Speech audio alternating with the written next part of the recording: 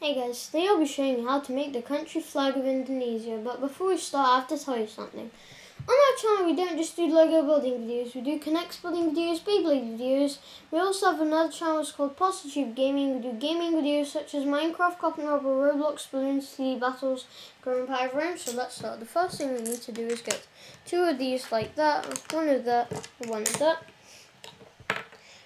Here is the finished country flag of Indonesia. So yeah, I hope you guys like it. Subscribe to see my videos. Bye guys.